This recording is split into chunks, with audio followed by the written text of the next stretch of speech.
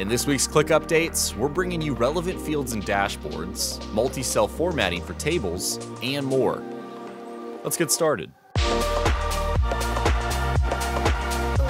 First up, share messages to new group chats. Boost communication by sharing or forwarding chat messages to a new group.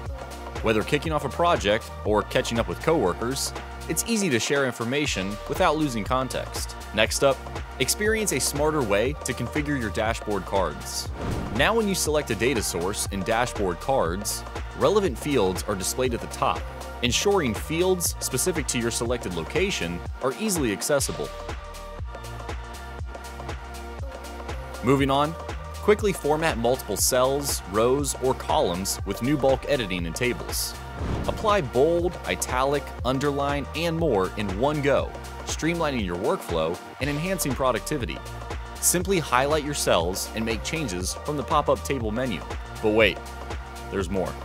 We have even more new features to announce this week, including an enhanced Microsoft Outlook add-in and a new unified search experience for mobile. Check out our full release notes to learn more. And that's going to do it for this week's ClickUpdates. We'll see you next time.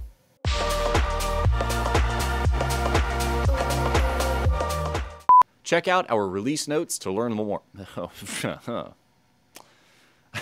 we have even more new features to announce. We have even more. Oh my lord, I can't talk.